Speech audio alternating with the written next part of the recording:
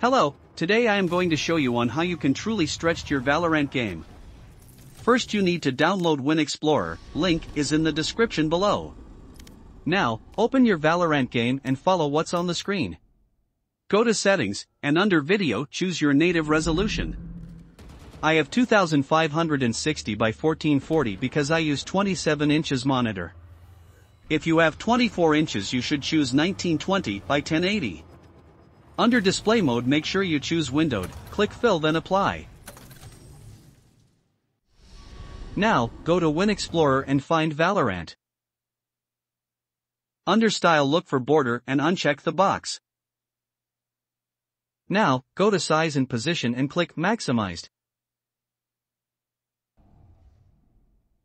You can now close Win Explorer. Right-click on your desktop and choose NVIDIA Control Panel. Choose your 4x3 resolution, I use 1920 by 1440 which is a 4x3 resolution. If it is not shown you can create and customize your own. For 1920 by 1080 resolution and uses 24 inches monitor the recommended 4x3 resolution is 1440 by 1080.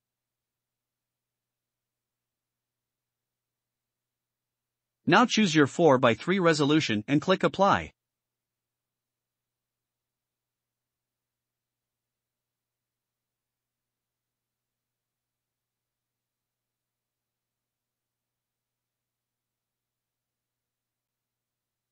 Now, go back to your Valorant game and go into practice mode.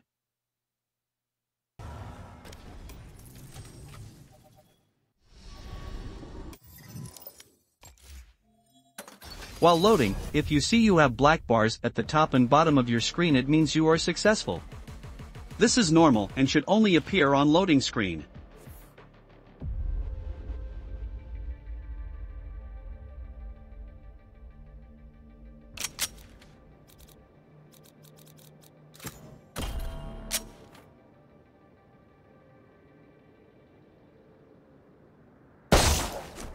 Congratulations, you have now truly stretched your game.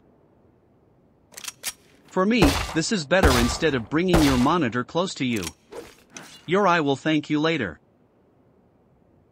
If you look closely, if I bring the game back to full screen it will go back to normal. That's it for the tutorial. Feel free to ask in the comments section.